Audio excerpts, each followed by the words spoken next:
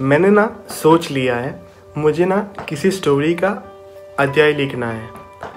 पता है कितनी ज़िम्मेदारी का काम होता है किसी स्टोरी का एंड लिखना? कि मानो सब इंतज़ार में हो कि सारी कहानी में जो कुछ भी दिखाया गया हो, वो लास्ट में आके ख़त्म हो जाएगा। मुझे बस वो एंड बनाना है। पर थोड़ा अलग सा और अजीब सा। सच कहूँ तो बिल्कुल बेहुदा सा। एक ऐसा अंत जिसे पढ़ के आप कहो कि यहाँ से तो कहानी की शुरुआत होनी चाहिए।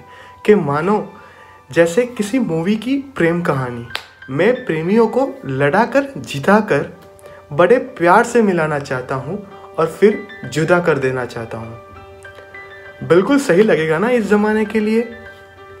जहाँ हीर और राजा मर गए मिलने के लिए और वहीं इस ज़माने में मिलने के बाद कितनी आसानी से छोड़ देते हैं कि मानो प्यार की कोई उम्र हो, जो ज़माने के साथ कम होती जा रही हो।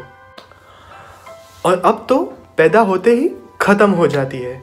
फिर ये जो सपनों की कहानियाँ, जो बस संघर्ष से भरी है, उसमें मैं खाली संघर्ष रहने देना चाहता हूँ और जीत निकाल देना चाहता हूँ।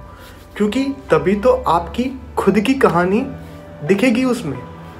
सुबह आठ बजे उठे, सूरत की ट्रेन पकड़ी, भीड़ से लड़े, क्योंकि दस बजे का ऑफ़िस मिस ना हो सके। फिर पूरे दिन का काम करने के बाद, बॉस की डांट खाने के बाद आप विराट की ट्रेन में चढ़े। उसी भीड़ से मुलाकात की, जो आप ही की तरह है। नाखुश। और ये आपने हर दिन चार हफ़्ते बारह महीने तक किया। और अब मुझे इससे कोई तकलीफ़ नहीं है। तकलीफ़ मुझे इस बात से है कि एंडिंग में आप पूछते हो, मैं ये क्यों कर रहा हूँ? कहते हैं, आम लोगों को कितने भी सपने बेच दो तो एंड में उनकी मजबूरी तकलीफ़ ही देती है।